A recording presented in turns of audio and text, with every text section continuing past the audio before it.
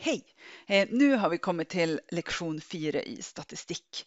Och det här handlar om diskreta sannsynlighetsfördelningar.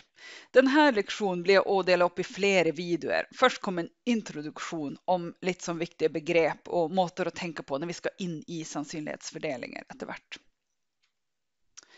Till att börja med så ska vi se lite på en stokastisk variabel. Det har vi också snackat om tidigare.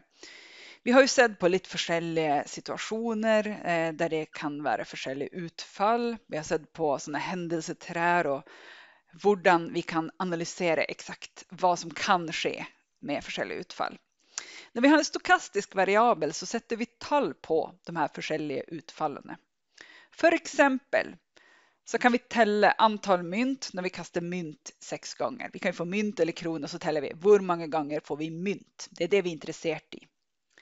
Vi kan tälla antal defekta produkter i ett tillfälligt utvalg. Då är det antal defekta produkter det som vi är intresserade av, som vi är upptatt av. Vi kan eh, se på levetid för en lyspære. Då är det inte något som vi täller sånn, men vi ser hur många timmar är eh, levetiden för en viss lyspære. Antal träckningar in till våra namn blir trycket i vinlotteriet på fredag. Icke för vi har ett vinlotteri, för det är inte lov. Men eh, där kan vi sitta och tänka att okej, okay, här kunde vi ha analyserat många olika situationer, men det som är intresserat i, det som är opptatt av, det är att telle hur många trekninger för mitt namn kommer upp. Så en stokastisk variabel, det handlar om att vi snevrer in intressen vår och vi teller något för att se hur det här blir att ske. Vi har ett par exempel här på, på stokastiska variabler. Vi kan tälla antal öjne vid ett tärningskast. Och nu skriver vi så här att V av X, det är alltså värdimängden. Det är alla möjliga värdier för den här stokastiska variabeln. Det kan vara 1, 2, 3, 4, 5 eller 6 på en vanlig tärning. Det här är ett ändelig och diskret värdimängd. Diskret betyder att det är heltal. Ändelig betyder att det är ett bestämt antal eh, heltal som vi kan få här. Oändlig och diskret. Ja, här har vi ett exempel som kanske inte är så realistisk. Att vi ska tälla antalet regndroppar som faller i bergen i 2020. Då måste vi ha haft en jättegod maskin som klarade av att tälla det här. Men där kunde vi ha tänkt oss att ja, det kan vara noll, väldigt liten sannolikhet för det då. En, två, tre, fyra, bla bla bla, upp till liksom flera miljarder och så vidare upp. Eh, som sagt, det här kanske inte är ett kämpegott exempel på den saken, men vi kan i vart fall se att här är det ju en regndroppe eller två regndroppar eller tre eller fyra och så vidare. Så det är diskret, det är heltal. Men det är inte någon övre gräns på vad det här kan bli för något. Ändelig och kontinuerlig. För exempel om vi prövar att måla ett klockerslätt när nästa UFO landar på jorden så kan ju det vara när som helst på dygnet. Det är inte så att det må vara en hel timme eller en helt minut eller något sånt. Det kan vara när som helst och då kallas det för kontinuerlig. Det kan ta vilken värde som helst, men det är ändelig. För dygnet har ju 24 timmar så om vi kunde intresserat i klockerslätt, icke i, i dator och något mer, så kan vi se att det här är ändelig och kontinuerlig. Uändlig och kontinuerlig. Om vi för exempel målar levetid till en lyspäre, ja, den kanske inte kan bli oändlig, men det var faktiskt en lampa i USA för några år sedan som hade stått på i hundra år eller sånt. Så levetiden till en lyspära kan bli svärt lång. Eh, och där kan vi också tänka att den levetiden, den tränger heller inte att vara liksom ett helt antal dagar eller helt antal timmar eller minuter, utan där har vi också en kontinuerlig. Det kan ta vilken värde som helst. En sannsynlighetsfördelning. Det är en samlad presentation av alla värdierna som en stokastisk variabel kan ha samman med tillhörande sannsynligheter. Så det här handlar alltså om att vi ska kunna presentera alla möjligheter här och alla sannsynligheter för en situation. Vi vet inte exakt vad som blir och sker men vi kan säga att ja, så här fördelar sig sannsynligheterna för det här. Så vi ska se på ett par exempel på det. För en sannsynlighetsfördelning så gäller alltid att summen av de här sannsynligheterna må bli en. Vi må alltså ha en sannsynlighetsfördelning som täcker in alla möjliga ting som kan ske. Och när vi summerar upp sannolikheten för att det där sker, för att det sker, för det och det, så må det bli en. Har vi icke en sum som är en så betyder det att vi har inte däckat in alla möjligheter. Då är det något här som vi har glömt. Och det här sumtegnet det betyder ju att vi tar det som står inne här och det ser ju lite rart ut. P är ju sannsynlighet, X är den stokastiska variabeln och XI det är ju då ett, en viss värdi. Om ni husker den värdimängden för kasta tärning, det var ju 1, 2, 3, 4, 5 och 6. Då ser vi ja, sannsynligheten för att vi får 1 plus sannsynligheten för att vi får 2 plus sannsynligheten för att vi får 3 och så vidare upp till 6. Och vi ser att om vi summerar upp och plussar samman alla de sannsynligheterna så får vi ju 1. Vi ska se på ett exempel här. Vi kastar en mynt tre gånger och så registrerar vi, får vi kronor eller mynt i vart kast. Vi antar att det är lik sannsynlighet för kronor och mynt. Och så ska vi finna utfallsrum och sannsynlighetsfördelning för antal mynt. Så det här kan vi ju lösa med att göra ett sånt händelseträ som vi gjorde sist. Att vi lagar som förgrejningar för vad som kan ske i vart kast. Eh, och vi kan få många olika sån väjer att gå. Vi kan först få mynt och så kronor och så mynt eller kanske först kronor, så mynt, så kronor. Så vi har ett antal sådana möjligheter när vi kastar mynt tre gånger. Och nu har vi ju då en stokastisk variabel här. Det är alltså antal mynt. Det är inte bara det att vi ser på allt som kan ske, utan vi täller hur många gånger får vi mynt. Det är det vi är intresserade i. Vi är icke intresserade i antal kronor, även om vi kan räkna ut det, men vi är intresserade i antal mynt. Så till att börja med så kan vi skriva upp alla utfallsrum. Det här kan vi få ut för ett sådant händelseträ eller att vi bara sitter och finner ut av det här utan att teckna det upp. Här betyder det alltså att först får vi kronor, så får vi kronor, så får vi kronor. Vi kan få först kronor och så kronor och så mynt och så vidare. Vi kan ju se när vi ser på den här att vi har flera möjligheter för för exempel att få ett mynt. Här har vi det vi fick myntet sist. Det där är ju också en sån. Och så har vi den här där vi får mynt först och så kronor kronor. Och det här är tillsammans åtta olika utfall. Så om vi ska börja se på sannsynligheter här så ser vi att ja, det är åtta olika utfall och vi kan bruka den gamla vanliga regeln antal gunstiga delt på antal möjliga.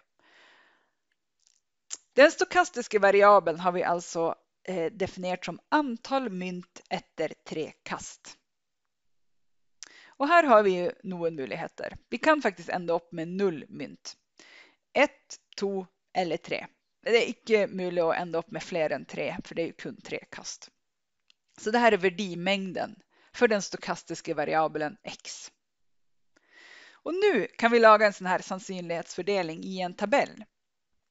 Här täller vi upp, ja, hur många möjligheter har vi för att få noll? Ja, det är den enda möjligheten är ju att vi får tre kronor och då blir det en åttondel. Sannsynligheten för att få en, en mynt eh, på tre kast, den är tre åttondelar som jag visste nettopp. Samma metod är tre åttondelar och att få tre mynt, det kan bara ske på en av åtta olika måter. Så här har vi en sannsynlighetsfördelning och det här är en fullständig eh, beskrivelse av de olika möjligheterna och sannsynlighet som tillhör.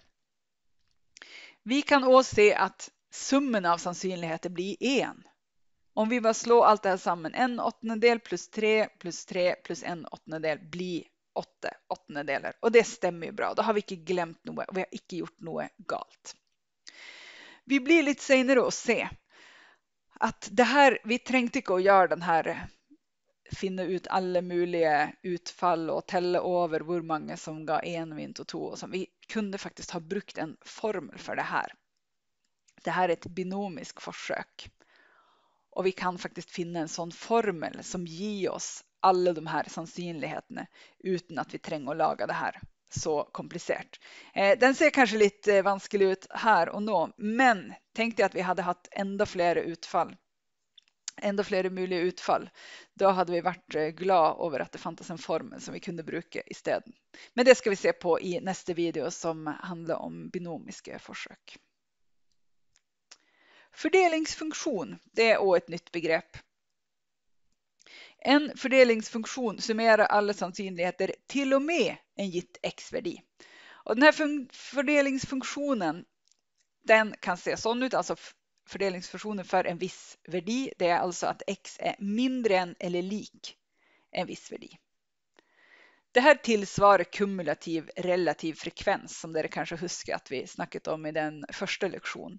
När vi såg på hur många har den här, det här svaret eller lavare. I tabeller som vi blir att se på lite mer efterhvert så är den här fördelningsfunktionen som är presenterad. Vi ska se på ett exempel här. Nu har vi, vi fortsätter att kasta mynt, men vi kastar mynten sex gånger. Och så ska vi finna sannsynlighetsfördelningen för antal mynt och laga en grafisk framställning av det här. Så vi Laga en sån här sannsynlighetsfördelning. Här är det alltså antal mynt som vi täller upp efter att ha kastat sex gånger. Vi kan få 0, 1, 2, 3, 4, 5 eller 6. Och nu ser vi här på sannolikheten för att vi får 0 mynt för exempel. Den är ju ganska lav, 1,56 eh, procent. Lite högre, lite högre, lite högre och så blir det också ganska liten sannsynlighet för att vi får att alla mynten som vi kastar är sex. Eller att alla mynt eh, alla gånger blir en mynt. Så det här är lite sånt som vi förväntar oss att det ska se ut. Men här har vi ålagt in då den kumulativa sannsynligheten. Det är den här fördelningsfunktionen. Och då ser vi att okej, okay, den här ser vad är sannsynligheten för att få null eller lavare? Ja, det är ju samma som att få sannsynligheten för att få null. Men den här betyder vad är sannsynligheten för att få en eller lavare. Så här täller vi alltså in och att visst vi får noll eller en. Och så kan vi fortsätta. Så här uppe så ser vi att det här betyder vad är sannsynligheten för att få upp till tre mynt. Och då summerar vi då sannsynligheten för att få noll mynt, ett mynt, två mynt och tre mynt. Så det här är en måte att skriva ting på som vi blir att komma tillbaka till många gånger i det här kurset. Så det är lite grejt att man vet vad det här betyder för något. Om vi ska presentera det här eh, grafiskt så ser det sån ut. Här ser vi att den sannsynligheten är här på sidan så att till slut är vi uppe på en eller 100 procent. Vi ser att det var liksom liten sannsynlighet här och så tar den lite sån större skritt här på mitten uppöver. Så sannsynligheten blir större och större. Om vi ska ha upp till tre så är sannsynligheten här. Upp till fyra så får vi, får vi en ännu större sannsynlighet. Så så kan man presentera den grafiskt. Vi ska se nu om förväntningsvärdi som är ett väldigt viktigt begrepp. Förväntningsvärdien, det hör vi på namnet. Vilken värdi kan vi förvänta oss att den stokastiska variabeln har? Eh, det är ju något som vi vet ju inte helt vad vi blir att få om vi kastar mynt och om vi täller mynt här. Vi vet ju inte vad det blir. Men vad kan vi förvänta oss? Om vi skulle ha veddet på på ett eller annat. Vad ville det ha varit lurt att, att sätta pengar på? Man kan sammanligna det här med, med genomsnitt eller tyngdpunkt. Förväntningsvärdien, då tar vi summen av värdi gånger sannsynlighet för alla olika möjliga utfall. Och förväntningsvärdien skriver vi med en sån my eller e av x det är vanligt att se. Så om det nu efterhvert dyker upp my och e så vet vi att det är förväntningsvärdien som visas. Och här tar vi alltså värdien gånger sannsynligheten plus nästa möjliga värdi gånger sannsynligheten för den värdien och så vidare. Och vi skriver det här som, ett, som en sum. Här har vi alltså värdien för ett visst utfall gånger sannsynligheten för den, det utfallet. Och för en funktion, ska ta det och direkt så tar vi den funktion, funktionsvärdien gånger sannsynligheten och summerar upp för alla möjliga värdier. Vi ska se på ett exempel här när vi kastar mynt. Eh, och vi ska ta det här andra exemplet då, när vi har kastat sex gånger. Eh, och så ska vi pröva att räkna ut förväntningsvärdien på det här. Och i teamen så, så gav jag den här uppgaven och så syns jag att man skulle pröva att regna det här ut själv i Excel för man ser på svaret. Vi kan benytta oss av den här formen som vi har här. Så om du vill kan du ta och pausa och pröva att lösa den här uppgaven själv och regna ut den här eh, förväntningsvärdien för hur många mynt vi får när vi kastar mynt sex gånger. Så ska jag visa hur man löser det här i Excel. Här har jag satt den här tabellen in i Excel och lagt in de här värdierna. Och nu för att finna förväntningsvärdien så ska vi alltså ta värdien gånger sannolikheten för den värdien för var och en av, eh, av de olika utfallen och så ska vi summera det upp till slut. Och det passar väldigt fint att göra i Excel. Så här har jag lagat en ny kolonn där vi ska ta värdi gånger sannolikhet för alla värdier. Så i den här kolonnen så skriver vi är lik och vi ska ta värdien gånger sannsynligheten. Här får vi noll för det att värdien här är noll. Men vi kan ta den här formen nu och så ser vi när det blir ett litet svart kryss här ute så kan vi trycka den nedover hit. Så blir vi att regna ut, här blir vi att regna ut vad är värdien här, en gånger sannsynligheten. Så får vi alla de här värdierna nedover. Nu ska vi summera upp det här. Vi kan börja med att summera upp sannsynligheten här. Då ska vi är lik summer. Och visst vi har en engelsk Excel så må vi skriva sum istället. Så markerar vi alla de talen som ska summeras upp här.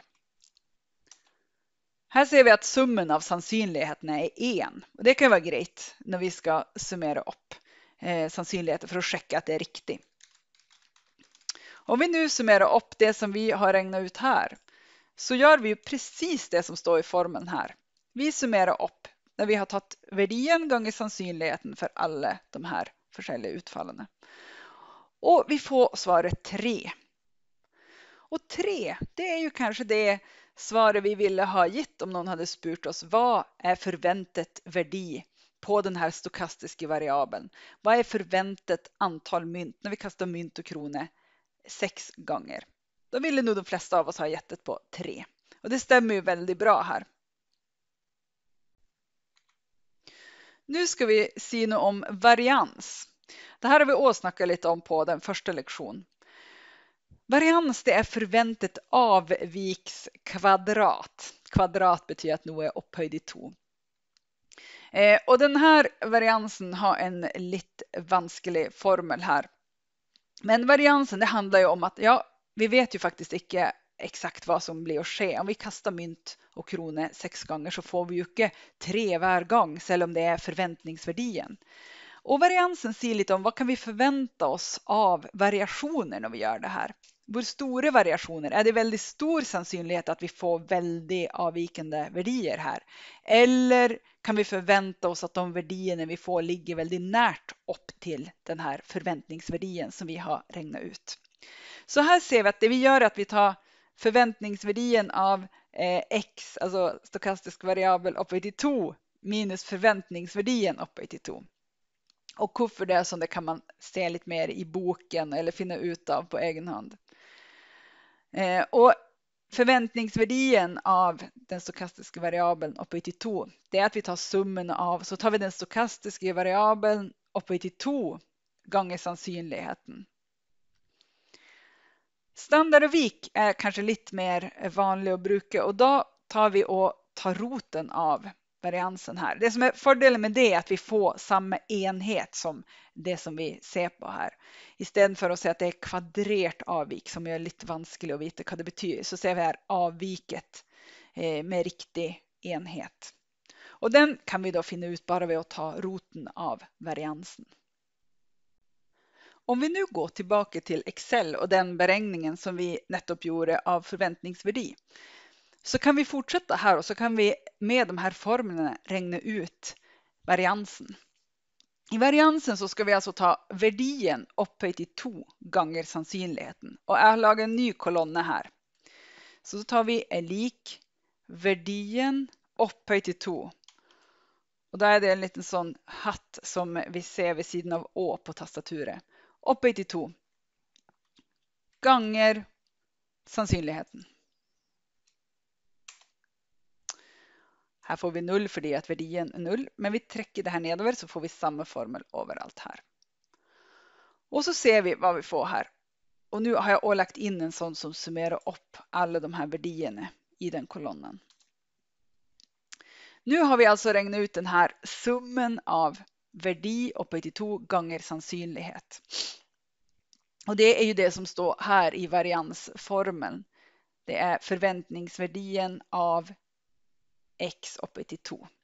Så nu ska vi räkna ut variansen med den här formeln. Då tar vi är lik och så ska vi ta den här förväntningsvärdien av x upphöjt till 2 som vi har räknat ut här minus förväntningsvärdien upphöjt till 2. Jag skrev den in här. Den ska vi ta upphöjt i to. Så får vi en varians på 1,5. Och nu när vi är igång så kan vi räkna ut vad är standardavviket. Då skriver vi är lik rot. Vi tar roten av variansen. Sån. Så nu har vi fått svar på vad är förväntat avvik här. Förväntat avvikskvadrat och förväntat avvik. Vi ska se på några regnregler för varians och förväntningsvärdi. Och de här regnreglerna ser kanske lite rara ut, men det här är alltså om man tar förväntningsvärdien av ett tal A. Så är förväntningsvärdien lik det talet i sig själv. Förväntningsvärdien av ett tal gånger en stokastisk variabel. Det är det tal gånger förväntningsvärdien för den stokastiska variabeln. Och så har vi flera sådana regler här om man på en måte lagar en funktion av en stokastisk variabel. Eh, och det här blir också i större mening när vi sätter det in i en sammanhang. Så ser vi de här olika reglerna. Variansen för en, eh, ett tal, det vill vara noll. Eh, variansen för en stokastisk variabel den är större än eller lik noll. Eh, och här har vi att variansen för en stokastisk variabel plus ett eller annat tal, en eh, konstant, det är detsamma som variansen för x. För hur mycket det här varierar, det har inte så mycket att göra med var den förväntningsvärdien ligger, utan det är det, det viktiga vi ser på med variansen är ju vad har vi för avvik. Vi ser här, den här är årligt viktig, att variansen för en konstant gånger en stokastisk variabel så får vi den konstanten upphöjt till 2. Och det är ju för att variansen är ju en avvikskvadrat. Det är därför den blir kvadrerad. Det här kan ni se på i boken om ni vill ha lite mer matematisk begrundelse för varför det är så. Men vi ska se på några exempel på hur man kan räkna med det här. Och det vill säkert fortsätta vara lite abstrakt intill vidare. Här har vi en eh, stokastisk variabel x. Vi vet förväntningsvärdien som är 10 och variansen som är 3. Och nu lagar vi några nya funktioner där den här stokastiska variabeln ingår. Y det är den stokastiska variabeln plus 4. Z det är 5 minus 2 gånger den stokastiska variabeln. Och vi brukar de här formlerna som vi har, de här kan man gärna ha föran sen när man kommer i en sån situation att vi har en stokastisk variabel och så gör vi något med den. Vi tar det gånger 2 eller vi tar och lagar en ny funktion av det. Så vi följer de här reglerna så ser vi att den första här, y, det är ju x plus 4. Då kan vi benytta oss av, ja, för exempel den här förväntningsvärdien av ett tal eller en konstant gånger konstant gånger x. Nu har vi ju inte någon speciell konstant gånger x för undtatt en. Så ser vi att det blir ju det talet här. Eh, och här var det 10 plus förväntningsvärdien av x som var 4. Nej, som var 10. Så vi får tillsammans 14 på den här. Variansen för y, ja då sätter vi in den här i den variansen och så ser vi att det som var lite speciellt här var ju att vi hade ett tal, men variansen för ett tal, det blir bara 0. Den andra däremot på sätt så får vi att förväntningsvärdien, ja då brukar vi ha den samma formen, men husk nu att det är ett minus här, så det blir ett minus här med. Så får vi det till att det blir 5 minus 2 gånger 10 som blir minus 15. Och variansen, nu må vi vara lite nöje. Här har vi variansen för 5 som blir 0, men vi har också variansen för en konstant gånger x och då blir den upphöjt till 2. Så vi kan bruka de här för att regna ut när vi har satt upp sådana här funktioner med eh, stokastiska variabler. Vi ska se på ett till exempel här med segdamer i en pose. Det är 15 segdamer och vi har fem av dem som är röda. Vi plockar ut tre utan att titta. Och så ska vi se, vad är sannsynlighetsfördelningen här för antal röda segdamer? Nu är det så att det är olika sannsynlighet för röda eller icke-röda segdamer, så det är inte som med det myntexemplet som vi hade tidigare. Vi ska finna förväntningsvärde och varians av det här, så ska vi se om vi kan få det till. Så till att börja med så ser vi att det är ett icke-ordnat utvalg utan tillbakaläggning, så det här är snack om kombinationer. Vi träcker ut tre segdamer och så ser vi på resultatet. Det spelar ingen roll om vi först tar en röd och sen en gul och så en grön eller om vi tar den röda damen sist. Vi täller bara upp etterpå. Så antalet segdamer som vi kan få ut, antalet röda här är 0, 1, 2 eller 3. Och här kan vi vara lite obs på det här tretalet. Det är möjligt för att det är totalt fem röda segdamer i den posen här. Visst, det hade varit totalt två röda segdamer så ville vi aldrig ha kunnat plocka ut tre. Så vi må läsa nöjaktigt uppgaven och se vad är det som faktiskt är möjligt här. Så nu kan vi räkna ut här. Vad är sannolikheten för att vi får noll segdamer ut? Och nu ser vi att här har vi ju tagit de här kombinationerna som vi ska räkna ut. På hur många måter kan vi träcka noll utav fem segdamer?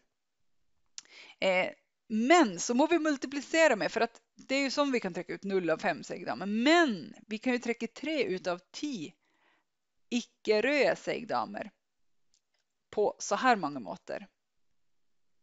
Så det är lite speciellt här. Vi, må, vi ska inte bara tänka på att okay, det är de här segdamerna som är röda som vi är upptagna av, utan vi må också tänka på att vi har också många möjligheter till att träcka ut de andra som vi inte är så intresserade i, men oavsett. Så här får vi alltså den här kombinationen gånger den där. Och så delar vi på totalt antal kombinationer när vi tänker att vi bara träcker 3 utav 15 segdamer. Sannolikheten för att x är lik 1, alltså att vi träcker en röd segdam, då må vi se på kombinationer. På hur många måter kan vi träcka en utav de här fem röda?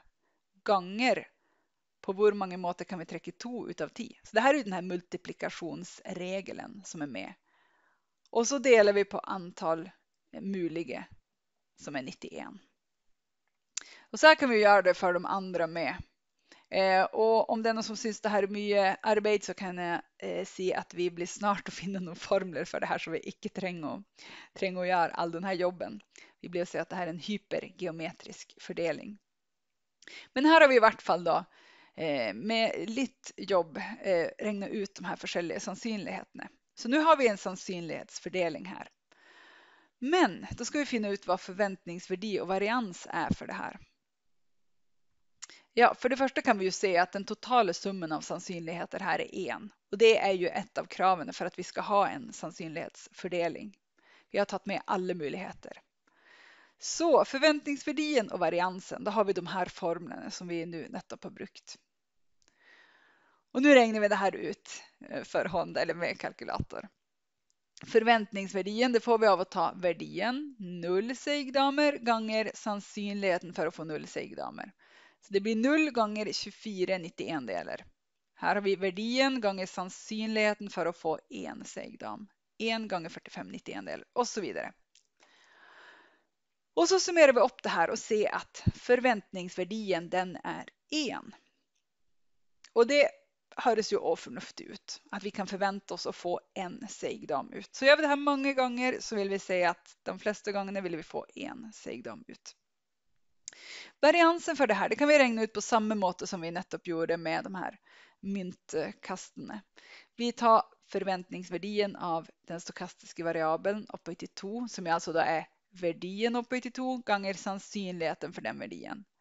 Och här har vi satt allting in här och så till slut så tar vi minus 1 upphöjt till 2 och det är den här förväntningsvärdien upphöjt till 2 som vi räknat ut i förra skritt. Så vi ser att variansen här är 0,57. Och det här kan vi ta kvadratroten av för att få vita standard av vike. Nu ska dere få pröva en egen uppgave här och lösa den här. Uppgaven är att finna varians vid bruk av tabell och det är det som vi nettopp gjorde med eh, myntkasten här. Men i det här tillfället så ska vi ha den stokastiska variabeln som är sum av öjne vid två tärningskast. Så vi kastar tärningen två gånger och så summerar vi upp de tärningskasten, vad ögonen har blivit.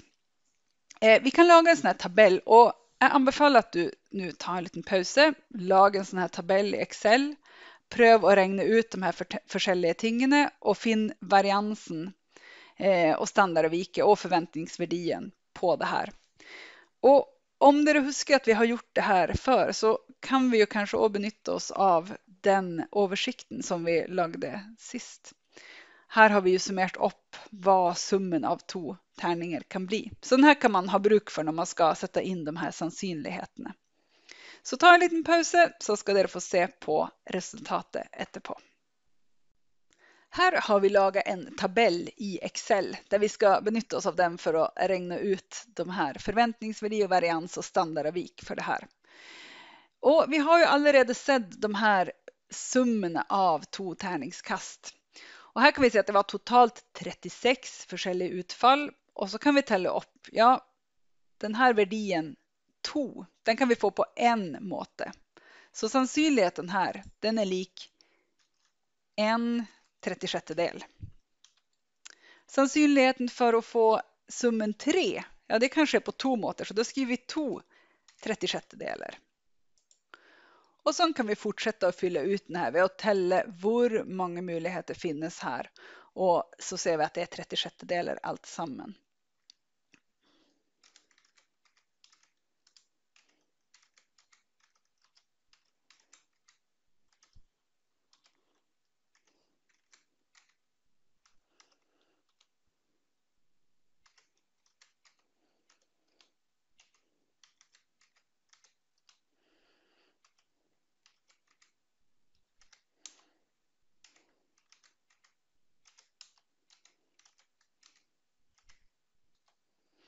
Och så kan vi se här och checka att summan av alla de här sannsynligheterna ska bli en. Verdi gånger sannsynlighet, det kan vi nu räkna ut med att ta värdien gånger sannsynligheten för den värdien. Och som ni kanske huskar från sist så kan vi få ett litet svart kryss där ute eller ett plus och så får vi gjort det. Eh, detsamma kan vi göra här. När vi har lagat en, en formel här då kan vi ta den plussen och så träcker vi den hit och hit för här ska vi också upp hela den här. Så 7. Det är ju då summan av värdi gånger sannolikhet och det är ju det som vi kallar för förväntningsvärdien. Och för att räkna ut variansen så tar vi då värdien upphöjt till 2 gånger sannsynligheten för den värdien. Vi gör detsamma för alla, så vi ser att i alla de här formerna så är det ju nu den värdien upphöjt till 2 gånger sannsynlighet. Så har vi fått summen här av värdi gånger sannsynlighet, eh, värdi upphöjt till 2 gånger sannsynlighet. Och det här benyttar vi oss av när vi ska beräkna varians. Så variansen den vill vara lik förväntningsvärdien av stokastisk variabel upphöjt i 2, som ju är den här. Minus den ordentliga förväntningsvärdien upphöjt i 2. Och standardavviket, det får vi veta ved att ta roten av variansen. Den är 2,4.